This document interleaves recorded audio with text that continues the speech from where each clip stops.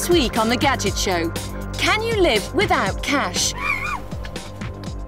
In our most ambitious challenge yet, Jason and I are sent halfway across Europe to find out if technology has now made cold hard cash redundant. And Jon spends three whole days in the pub. Why? To find out whether the legendary La-Z-Boy is the best gadget chair money can buy.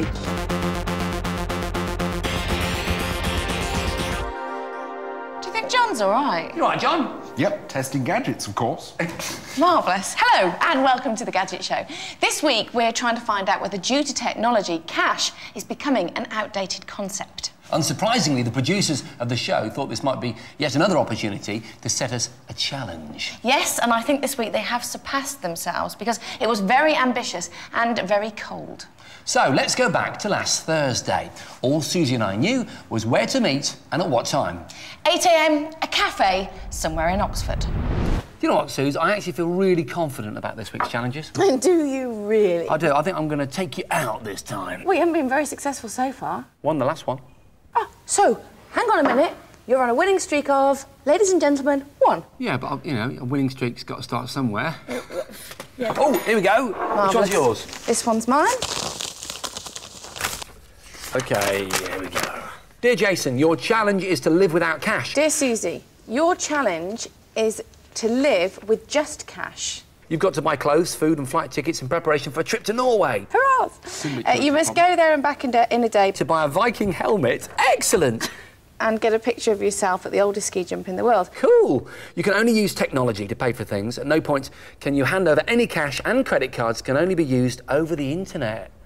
Quite difficult. Right, here's my rules. All purchases must be made with cold, hard currency. At no point can you use anything other than cash. Wow. Well, What?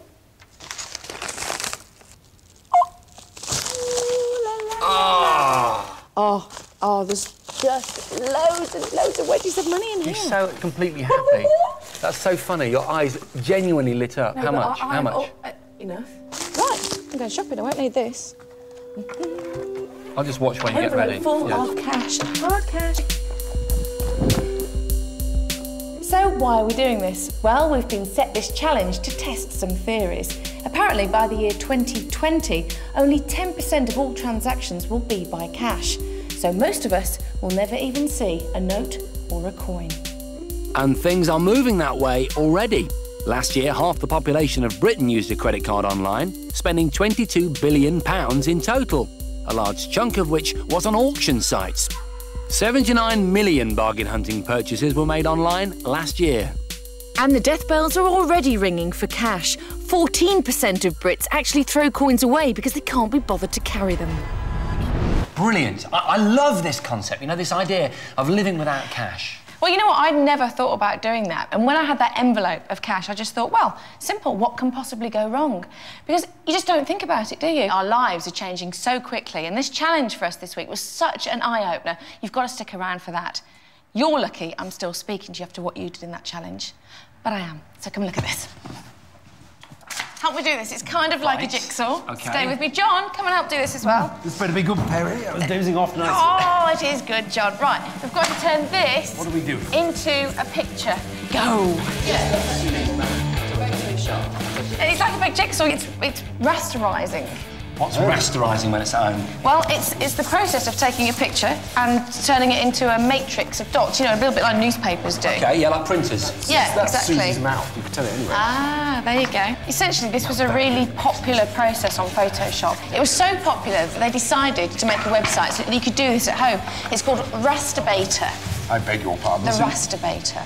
What was that? I'm not being rude, carry on. That's what the website's called. And all you have to do is upload your image and then you can print it off 20 metres high, you can make it. But if you download the actual application from the website, then you could print something, I don't know, the size of your house. Amazing. And you can print it on your own little printer at home. That's the A4 beauty bits. of it. An A4 bits, just stick it all hmm. together. You got a beard? Because if so, I could just pop that. No, I have not got a beard. Sorry, Suze.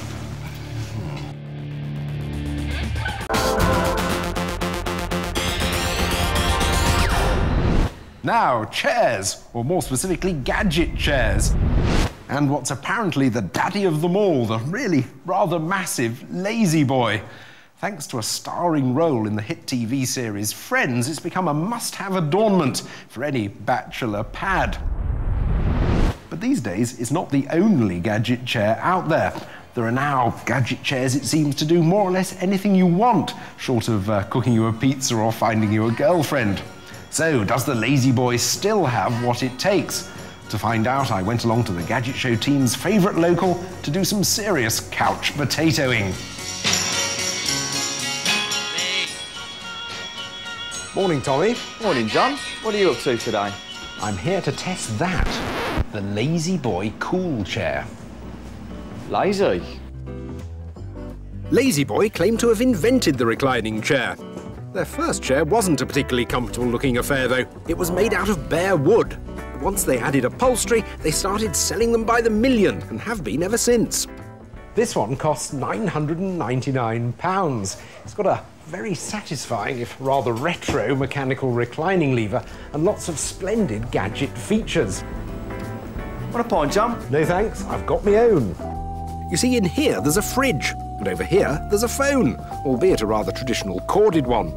The best bit, though, is controlled by this unit here, the massage functions.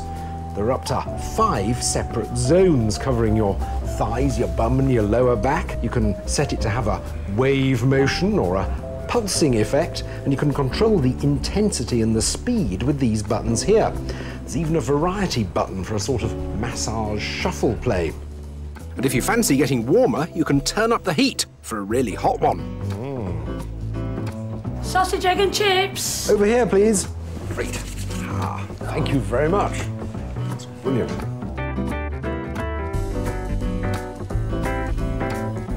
This is actually a very, very comfortable chair. It's got great support for your thighs, your back, and your bum.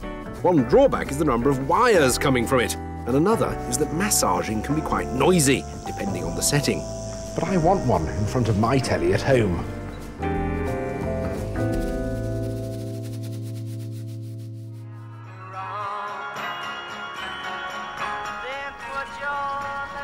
Morning, Tommy. Morning, Jon. What are you up to today? I'm here to test that. The Pyramat S2000 gaming chair.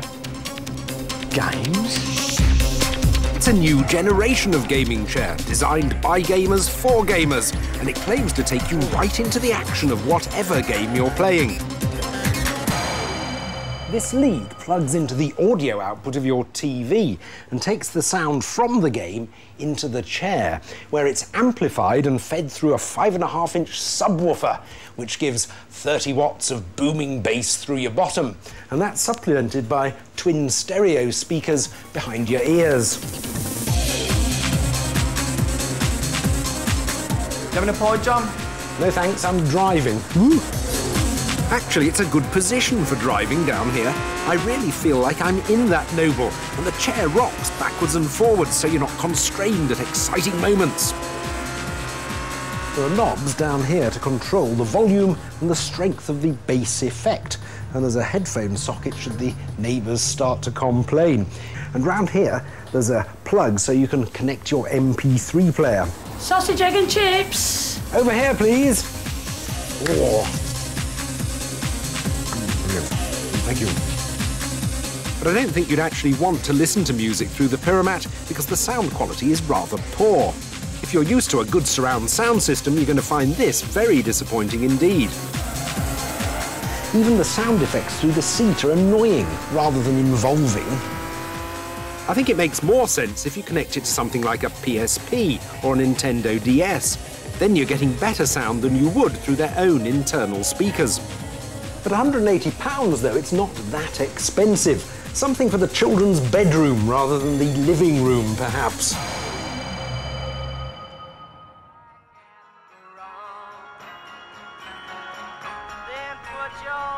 Morning, Tommy. Morning, Jon. What are you up to today? I'm here to test that. The multimedia armed chair. Comfy. This is a motion sensor chair that's built for watching blockbuster movies. It's a bespoke design, and customers have a choice of two types of leather and 83 colours. When an action action packed film is released, Armed Chair's team of programmers examine it frame by frame to create so called motion codes, which are stored in that black box over there, the motion controller on a hard drive. The box is connected at one end to your DVD player and at the other end to the chair via your computer. As soon as a movie starts playing, the controller listens to the audio stream from the DVD player. Within five seconds, it recognises what film you're watching and sends the information to the chair. Then your multimedia experience begins. Having a pint, Jon? No thanks, I'd uh, probably spill it. Hidden inside the chair are robot like arms called actuators, which throw you around according to the instructions generated by the motion controller. In theory, they're capable of generating forces up to 2G. Sausage, egg and chips. Over here, please. It's great fun, and it can work very well. During a battle sequence in a Star Wars movie, for instance, where you're looking through the front of a spaceship, it really did enhance the motion. But lots of movies don't have great action sequences. It doesn't seem to work so well when the action isn't from your point of view. Watching the outside of a spinning car, for example, while you're being thrown around in a circular motion is an effect that doesn't work for me. I really like the idea of this chair, and some of the effects are great, but at the moment I'd only recommend one if you're very, very, very rich. I got you! Jon, three platefuls of sausage, egg and chips. Was that absolutely necessary? Not necessary, but very enjoyable. So I, I- I take it that um, out of the three chairs, this La-Z-Boy is your favourite. Yes, I mean, it's not uh, the aesthetically the most pleasing thing in the world, but it is a lovely, comfortable old thing. You ought to try it. It's like a, a huge marshmallow chair made out of leather. well, hang on a second. That's the, the Friends moment. Do you remember? Mm, the quick on the draw bit. I like that. Yeah. It is. It is comfy. I'll give you that. I that. see. Yes. Oh, oh, come on. Mm, are you being supported in all the right places? No, the lower back support is extremely good. Ah, yeah. No backache in that. But I was disappointed, if I'm honest, with the gaming chair because, you know, as a games fan, I've had all these peripherals over the years, you know, these kind of rumble cushions and stuff, and it, it can enhance the gameplay. I could help you. I've Yeah. got a butt kicker. I, I beg your pardon? It's this. Let's have a look. Ah, Bit of c- ironwork here. It claims to turn any chair into a forced feedback gaming chair. This one. Now, the, the actual vibrating bit goes behind the back of the chair. We have to Um, lift it again. I think we have to, Has to make tip contact, it forward. guess, doesn't it? Tip forward under there. That's good. And turn it up here, and it should vibrate from there. Does that, does that sort of noise give you any vibration or not? Does it? Yeah. Have some of that! Off with his head. oh. Oh. You're not feeling Oh. that. You're not feeling Oh. You've got such a vivid imagination. Wow. I love that. I love that, Jon. When my character jumps up, you feel a kind of, "Ugh," and when she lands, it's like a. Okay, so can you give the butt kicker a G rating? Certainly, um, okay, you've got to get the right game with it, all right, with a nice big bass signal, but I'm going to give it three Gs. Impressive. And what about your chairs, Jon? Let's start with the gaming chair. How many Gs? Well, it's good for the kids' bedroom, but probably a bit of a disappointment elsewhere. I'd probably say two Gs for that. Okay, um, what about the multimedia chair, the expensive one? That is a fantastic idea, and it can work really well, but I think they've got to do a bit more work on it. But still, three Gs, I grade. Not, not bad. Yeah. Finally, the La-Z-Boy. Well, it's by far the best of the chairs, but it's not perfect. It's got all those wires hanging out the back, and uh, it doesn't actually look that brilliant. But still, four Gs. Right, now it's time to return to our challenge, and this is where it starts to get interesting. The idea was to see if in these modern technological times it's possible to live without cash. Jason and I were set the same mission to go to Norway and to complete various different tasks. The only real difference between us is that you could only buy things using cash mm. and I could only pay for stuff using technology. So, after being set the challenge, it was time for a spot of shopping to buy exactly what we needed. For me, shopping started with an internet search for my flights. Even though I was flying at very short notice, I still managed to get a kind of good deal. £380 booked through BA's website. Apparently, 15,000 people a day book tickets this way. That works out to 87% of all BA flights. And a hire car, that's a great idea. I mean, I can get around really quickly and I can certainly do it online. Most car hire companies need a credit card as security when you pick up the car. But if you book through an agent, you can give them your credit card details and they'll email you a voucher which covers everything. I had to wait till I got to the airport to buy my flights, but I could get some shopping done in preparation for the Norwegian climate. Hi, Suze. Hey, right, nice, Jace. nice jacket. Yeah, what what you been up to? I, uh, I just, you know, just relaxing really. I mean, because I did all my stuff on the internet. Got some wicked deals. Really? good prices on my flights, yeah. Jace, did you know that it rains for up to 200 days every year in Norway? And um, also the coldest temperature ever recorded was minus 51 degrees. Oh, no, I, I knew that stuff, yeah? Yeah. So you need some really warm clothes. Yeah, I've, obviously, I'm just here to buy some stuff, so I'll, I'll just go and have a look around, yeah? Just one more thing, yeah? Yeah. How are you going to pay for it? With remember credit. Oh, yeah. Uh, well, I've got, I've got technology on my side, all right? It can't be that difficult. Thanks very much, yeah. Hi, how you doing? Yeah, I've got a proposition for you. I, I, I've, I can't use my credit card for various reasons, but I, um, I want to buy a jacket. I've seen it online. So now, if I, that's the jacket there. Have you got that in store? Yes, we do. Oh, brilliant. OK, so if I buy it now online, put my details in, can I just pick one up in a medium, please? No, unfortunately, we don't offer that service. But you've got, you, I you've actually got the jacket. Look, this is the coat. Look, there's my credit card. Look, got look there. It says paid on my screen. Can I not just grab the thing and go? No, no, it's, it's on your way to your house at the moment. Lots of internet shops only sell on the internet. You might live next door to them, but the chances are their stock is somewhere in the Midlands, in a massive warehouse. just a hat then. I'm going to be freezing, mate. In this case, I can't get my clothes because the website and store are two completely different entities. The coat's on its way to my house, and there's nothing I can do. Excuse me. Yeah? Excuse me a minute. Yeah, can I just pay for these, please? Yeah, of course. You just move your laptop. Yeah, no problem. Thanks. How you getting on? Oh, it's going great. Yeah, Yeah? it's really good, yeah. Yeah, it looks... What have you got then? Um, I've just gone for the black, the black what? uh, the hat. Or maybe I'm not decided yet. Thank you. Yeah. I think you'll find that it's all there. My cash. Gonna Time is of the essence. I know that, I understand that. Yeah, yeah. But um, I've got to hurry up, so shove it in there, it'd be great. Thanks for your help. All right, thanks. Yeah, see you at the airport Yeah, then, yeah? see you there. Have yeah, a good don't, one. Don't yeah? take too long. Oh no, no, no problem. Look, Dan, just chuck in one of those novelty compass key rings, mate, and we'll call it quits, right? No. All right. Cheers. So, it seems cash is still king on the high street. But that's changing. There's a revolution going on, and it's starting in a co-op store in a small Oxfordshire village. This store is home to a technology that could totally change the way we pay for things in this country. This till is at the vanguard of alternative payment methods. It uses a technology called Pay by Touch. It's got a fingerprint scanner, which when you touch, connects to your bank account, so you never need to use a card again. Hello. Hello. Your finger is scanned to access a Pay by Touch wallet that's connected by direct debit to your bank account. It's really simple and very secure. It doesn't actually scan your fingerprint, it scans points of interest on your finger, like where lines meet or end. They're unique to everyone and can't be copied. Useful when identity theft has gone up by 600% in the last five years. This technology is massive in America, where they've just signed up their 3 millionth customer, and it's available in over 2,000 stores. Over here in good old Blighty, though, you'll only find it in three co-ops in Oxfordshire. But who knows, if the trial goes well, it could well roll out nationwide. Anyway, Marianne, nice working with you, but I can't talk. I've got an hour to get to Heathrow. Where did I put my wallet? Oh, yeah, there it is. See you later. It was down the motorway to Heathrow, where Susie was already waiting. I might have saved a load of time using cash in the shops, but that all changed when I reached Heathrow.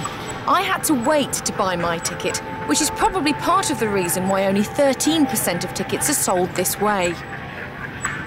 When I finally reached the front, I was in for a shock. £626. My bag of cash was taking a beating. I'd already spent nearly £200 on clothes and now over £600 on the flights. By booking online, I could use the express check-in facility. Yes, just in time. Express check-in. I put my credit card in the machine to confirm my identity, but importantly, no money was taken, so no rules were broken. This is great. 675,000 people use these machines every month. That's 18% of everyone flying from the UK. Not Susie, though. She had no credit card and no way of proving her identity, so was left queuing while I breezed through. Oh. Susie, just queuing up here with the other cash customers. All right? I'm just in the express check-in queue. No one here, save me. I'll see you on the plane, yeah? All right, if you get there, I'm off for a Frappuccino. You know, you're so cruel to me sometimes. I know, I know that. But what about that supermarket? No, a supermarket was fantastic. Awesome. Because you know what I hate? Trying to scurry around in my bag to find credit cards. Really Ah, irritating. well, you know what I love? What? Tech. Yes. Just futuristic stuff. I love that idea. But more impressive than that, the same people that supplied that system have supplied this. It's called True Me, and it's a kind of version for your home. True Me? Yeah, what you do is you register with one single website. You put in all your details, your bank account details, your shipping address, which might be different to your home address. You know all those problems you have online when you're trying to do stuff, yeah? And then, if you go to a website that's affiliated with them, say at Christmas, you want to do 15 different transactions in an evening, each one is just one swipe. Look, you, So, swi- you what swipe you're on there, saying- light comes up, it's recognised my finger. That's as simple. Pair of socks sport, all right? One more swipe, underpants for mom, all right? Yep. She's kinky like that. Look, rubber underpants, studs on the inside. That's just for myself. Why not? I've been working hard. But listen, so what you're saying is you haven't got to put the details in every time. I can't believe you just said that. Did but I what- not say that? Let's move Yeah. on anyway. The idea you don't have to put your details in, you That's, that's great, because that will save so much time and it is really irritating. How much is it? Uh, when it's released and the system is not online yet, I'll just say that they reckon next year Mm. um, for, for a start date, less than £20. Oh, that's so worth it. Save all that typing. Marvellous. You better get it changed, though, because it's the, you know. Hmm? You better get it changed. Wh- why? Because it's the critical list. Oh, yeah. Right, obviously, you can see the climax to our challenge, Can You Live Without Cash, later in the programme, and it's a real eye opener, so stick around for that. But now, as I said, the critical list. This week on the critical list, we're looking at clothing. Jon, what are you doing? And I'm why are we pre- wearing these? I'm preparing a hug for you. Marvellous. Because humans need about 30 to 50 bits of touchy feely contact every day, and if they don't get it, they get depressed. Do we? So you need your hugs. But how do you get your hugs when you're the other side of the world? Well, you just don't get any, do you? I should know. Well, what you need is a CuteCircuit hug shirt, which is what these are. Ah, okay. How do they work then? There are sensors in each of these red zones that record pressure and skin temperature and send it to your mobile phone by Bluetooth. So I can send you a text message with all that information in it and you get my hug. Send me a hug. I've just sent you one. Okay. It says you have a hug waiting. Yes. Yeah. I want to feel it. Ooh! Hmm, what do you think of it? It's like um, in all the obviously in all the red zones, it, you can feel a sort of slight vibration. Like gives you sort of warm sensation. Yeah. It's really nice to know that somebody's actually thinking about Mm, you, you know, and wanted. sending you a hug because Yes. it's a bit lonesome being away all the time. Mm. Get a bit lonely. Oh, I like that. Yeah, what have you got? Oh, right, yes, what I've got. Um, I've got G gloves. Ah, Right, and I'll pop them on and show you. Because you know when you get your hands freezing cold and you, Yeah. you can't type, can you can't play games or anything. Sure. And uh, these basically USB, stick them on the side of your laptop, and you can type and defrost your hands at the same time. Wow. Now, if I'm being honest, which we are on the Gadget Show, Yeah. the design, not for me, really. no, not for me either. All So right. need to work on that a little bit, I Yeah. think. But I suppose if you're working outside and you have got to, you know, be on a laptop or Yeah, something, can you actually feel the difference in yeah, you can, and, and it sort of goes up 10 degrees in, in five minutes. You can't heat your hands up too much, otherwise you get chilblains. Ah. Then you have to wee on your hands to get rid of them. How horrible. Okay, so we're two thirds of the way through the critical list. You've seen Jon's hug shirt, my G gloves, and here's Jason. Hi, guys. How's it going? Would you like to explain yourself? Uh, certainly, I've. Uh, well, I'm wearing um, a stormtrooper outfit, which is taken from the original 1977, uh, 1976 moulds by Andrew Ainsworth, the original designer at. Um, is it Shepperton? Shepperton Studios, it Yeah. is, yes. It's very, very cool. Co- it costs you a lot of money, though. This How much is it? thirteen hundred pounds. But it's original. Absolutely, the the, he- the head is. Can I just Fr- say from the original moulds. That, I always had a thing about stormtroopers. Yeah? But um, I always expected them to wear like really cool boots. Oh no, no, they wore these loafers. yeah, if you look carefully on the uh, director's remix cut, they're wearing these shoes exactly. you know, it'd be really funny if you wore that and you just went outside on the street. Funny you should say that, Suze. Oh, love, uh, can't see two shoes, please.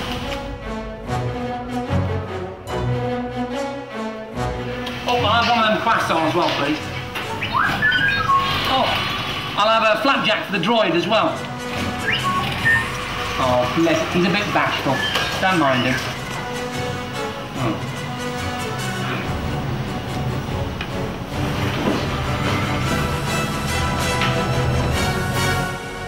Do you know what, Suze? Underneath this costume, I'm completely naked. need help. Seriously, do. It's time for us to take a break now, but coming up after the break is the climax to our Can We Live Without Cash challenge. Don't go anywhere, you can't miss it.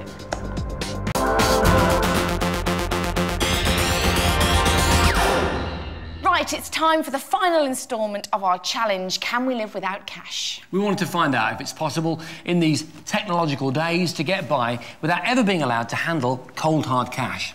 Jason and I had a mission to go to Norway, buy a Viking helmet, have our picture taken at the oldest ski slope in the world, and get back from Norway all within one day. The problem for me was that I had to do everything with just cash. And my problem was I only had technology to rely on. I was allowed to use my credit card, but only through the internet. So we pick up the story just after we've landed in Norway. Car rental, that's, that'll be me then. What do you mean? I'm going to rent a car, I'll do- sort it out on the internet. Can you give me a lift? No, I can't. It's not, well, I'd love to, Suze, but it's not the, you know, the competition rules don't allow that, do they? Well, I'm going to get a car as well then. OK. My voucher from the agent worked like a dream. There was no need for a credit card, and I was itching to get on the road. Uh, I asked for an AHA CD to be included. Can I uh, get my car with cash, please? No, sorry, that's not possible. We need a credit card when you pick up the car. There must be a way around this. Uh, one moment, please. So, may I have your... Thank you. Um, Hi. what about if I paid a lot of cash? No, sorry. No, don't go. Thanks, Ernest. See you. Susie, you're embarrassing yourself, please. See you later. He's more likely to crash the car because he's a really rubbish driver and I'm a really good driver. Does it matter, Ernest? I'll take public transport. So I dumped my bags, got my cold weather gear on, and joined a queue for the train. 25 quid, and 20 minutes later. Train, train, train. And I only had two hours left to get into Oslo, get the Viking hat, a picky of myself with the oldest ski jump in the world, and get back to the airport. I was in desperate need of a snack. The only problem was finding somewhere I could pay for things.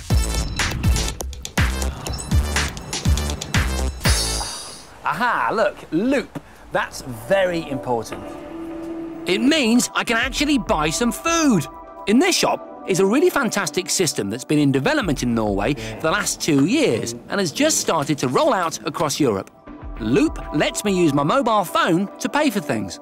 Got a text messaging on my mobile phone. I've already had an account set up for me and some money transferred into it. So pay, space, and it was so simple to use.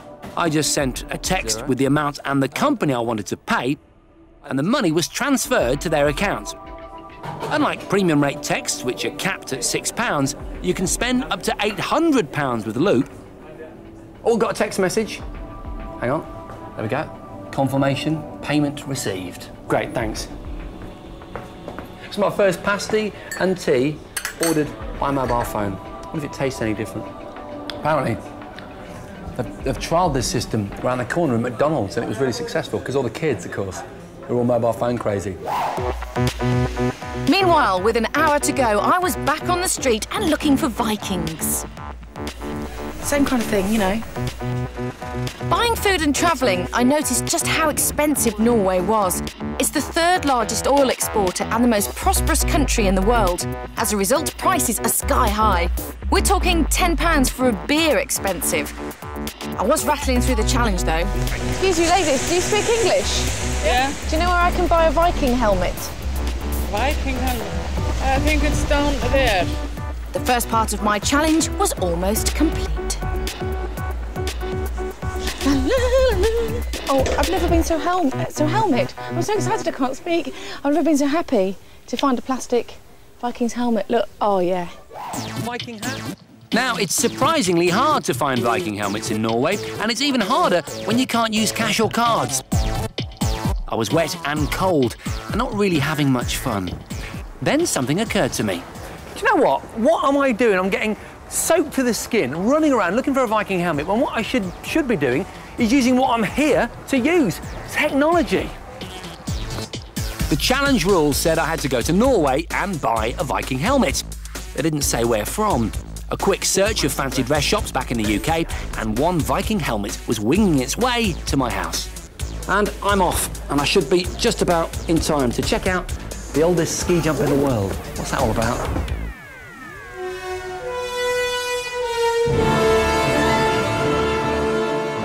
The Holmenkollen ski jump stands 60 metres high and 470 metres above sea level.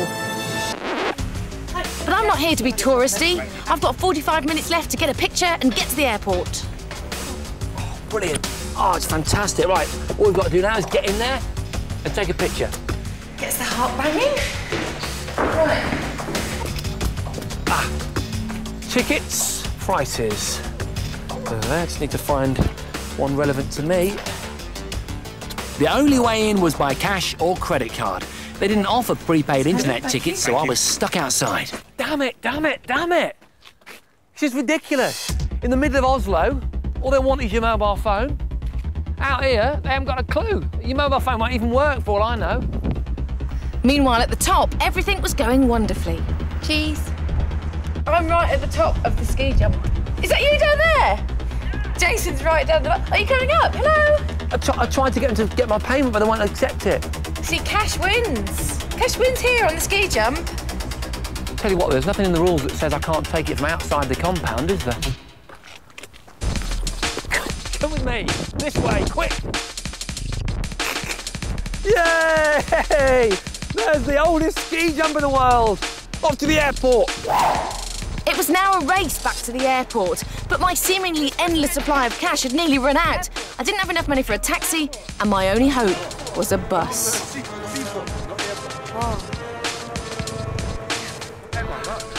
Hey, look, that's Susie. Go to the airport, and I need to get a bus to the airport. You've You not got, you've only got about half an hour to get to the airport. There's, there's plenty of room in the back here. Can I, can I, can I get a lift? No.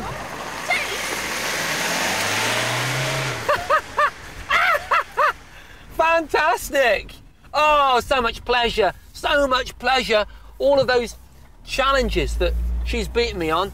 See you, Suze. Bye. I don't believe it. I am actually going to miss the flight unless I get to the airport in half an hour. I'm going to miss the flight.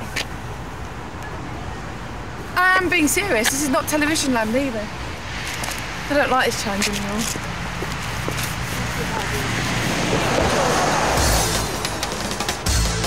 You crazy Norwegians. Yay! You're looking good, baby. The warm, smug feeling I got from the despicable act of leaving Susie behind didn't last long. I don't believe I don't believe this. I'm running on vapours. I've run out of petrol. I've got 22 miles to go to the airport and I'm on vapours. It never even occurred to me. I'm gonna have to ditch the car and find a cab. With 15 minutes to go, I'd found a bus and I was on my way. It was a real race against time, though, and the stress was honestly killing me. This is just taking ages. As Susie sat helpless on the bus, I searched for a taxi, and amazingly, the very first one I found accepted mobile phone payment. The airport, as quick as you can, please.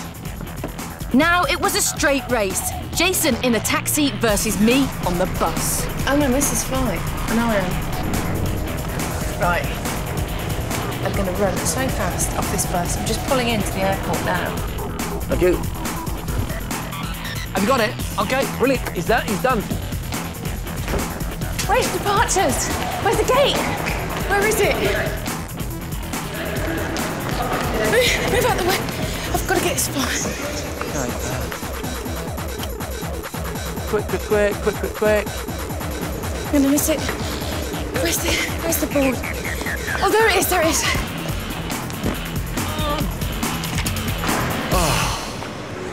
Yes, I've made it. Thank goodness for technology. Oh, it's closed. Bloody flight's closed. I'm stuck here. That was the last flight. Yeah. I don't believe it. Oh, God. Check you out with your little straps. did, did you actually get stranded in Norway? No, I thought that I was stuck in Norway, but there was another flight back later, so I did Oh. actually get back. Well, that's not too bad then, is it? I was a bit moody, though. What do you look like in that hat? How can you say that? you look ridiculous, I said something to you. I only had a choice of one helmet to buy. You went online, you could have bought anyone. You bought one with hair. I like it. But listen, on a serious note, Yeah. How amazing that you could do so much with technology and you didn't need cash half the time. Our system's fantastic. A little bit buggy to begin with. It's not quite there yet, but um, I think bodes well for the future. I was going to say, I guess the point is, you know, we had to go to Norway for that, but in a very short amount of time, all that is going to be happening right here on our doorstep. But you know what the most important thing is, don't you? What? I just want another challenge.